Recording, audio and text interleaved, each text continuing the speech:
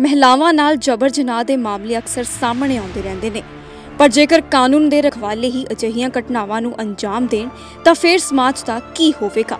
ਅਜਿਹਾ ਹੀ ਇਨਸਾਨੀਅਤ ਨੂੰ ਸ਼ਰਮਸਾਰ ਕਰਨ ਦਾ ਮਾਮਲਾ ਬਟਾਲਾ ਤੋਂ ਸਾਹਮਣੇ ਆਇਆ ਜਿੱਥੇ ਕਿ ਪੁਲਿਸ ਦੇ ਹੀ ਏਐਸਆਈ ਵੱਲੋਂ ਲੜਕੀ ਨਾਲ ਜਬਰ ਜਨਾਹ ਕਰਨ ਦੀ ਕੋਸ਼ਿਸ਼ ਕੀਤੀ ਗਈ। ਦਰਅਸਲ ਏਐਸਆਈ ਆਪਣੇ ਘਰ ਵਿੱਚ ਇਕੱਲਾ ਸੀ ਤੇ ਉਸਨੇ ਨਾਬਾਲਗ ਲੜਕੀ ਨੂੰ ਝਾਂਸਾ ਦੇ ਕੇ ਆਪਣੇ ਘਰ ਅੰਦਰ ਬੰਦ ਕਰ ਲਿਆ ਤੇ ਬਲਾਤਕਾਰ ਕਰਨ ਦੀ ਕੋਸ਼ਿਸ਼ ਕੀਤੀ। ਇਸ ਗੱਲ ਦਾ ਮੁਹੱਲਾ ਨਿਵਾਸੀਆਂ ਨੂੰ ਜਦੋਂ ਪਤਾ ਲੱਗਿਆ ਤਾਂ ਉਹਨਾਂ ਨੇ ਲੜਕੀ ਨੂੰ ਏਐਸਆਈ ਦੇ ਚੁੰਗਲ ਵਿੱਚੋਂ ਬਾਹਰ ਕੱਢ ਲਿਆ।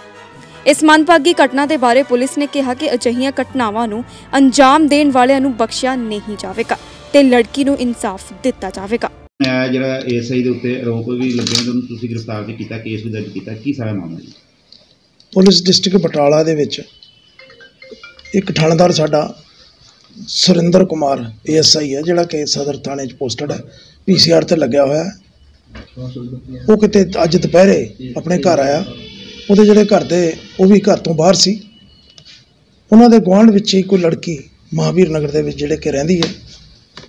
ਛੋਟੀ ਉਮਰ ਦੀ ਬੇਟੀ ਆ ਬੱਚੀ ਆ ਉਹ। ਉਹਨਾਂ ਨੂੰ ਉਸ ਆਪਣੇ ਘਰ ਲੈ ਗਿਆ ਅੰਦਰ। ਉਸ ਤੋਂ ਬਾਅਦ ਮਹੱਲੇ ਵਾਲਿਆਂ ਨੂੰ ਪਤਾ ਲੱਗਾ ਤੇ ਫਿਰ ਮਹੱਲੇ ਵਾਲਿਆਂ ਨੇ ਰੌਲਾ ਰੌਲਾ ਪਾ ਕੇ ਲੜਕੀ ਜਿਹੜੀ ਕਿ ਬਾਹਰ ਕੱਢੀ ਹੈ। ਉਸ ਤੋਂ ਬਾਅਦ ਜਿਹੜਾ ਥਾਣੇਦਾਰ ਮੌਕੇ ਤੇ ਅਸੀਂ ਅਰੈਸਟ ਕਰ ਲਿਆ।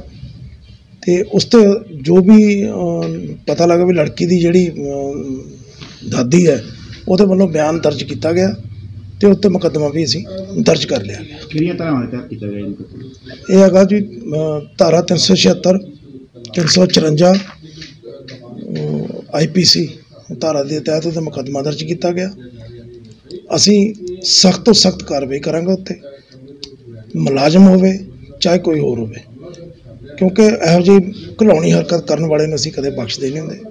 ਉਸ ਤੋਂ ਇਲਾਵਾ ਅਸੀਂ ਉਹਨੂੰ ਅਰੈਸਟ ਵੀ ਕਰ ਲਿਆ। ਅਰੈਸਟ ਕਰਨ ਤੋਂ ਬਾਅਦ ਜਿਹੜੇ ਮਦਈ ਨੇ ਅੱਗੇ ਅੱਗੇ ਜੋ ਜੋ ਵੀ ਐਵੀਡੈਂਸ ਆਊਗੀ ਉਹਦੇ ਤਹਿਤ ਜੋ ਵੀ ਕਾਰਵਾਈ ਬਣਦੀ ਅੱਗੇ ਅੱਗੇ ਕਰੀ ਜਾਵੇਗੀ। ਸਰ ਘਟਨਾ ਦੇ ਦੌਰਾਨ ਲੱਗਦਾ ਪਤਾ ਲੱਗਾ ਕਿ ਏਐਸਆਈ ਸ਼ਰਾਬੀ ਹਾਲਤ 'ਚ ਸੀ।